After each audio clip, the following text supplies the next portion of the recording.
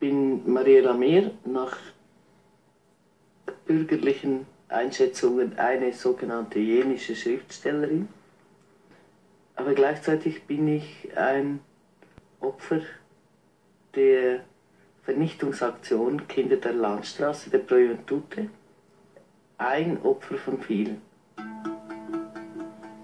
Die Augen dieses Kindes erzählen eigentlich schon die ganze Geschichte. Als dieses Foto gemacht wurde, hat es schon Pflegeeltern, Heime, Anstalten, Elektroschocks und Vergewaltigung erlebt. Die langsame Ermordung seiner Seele.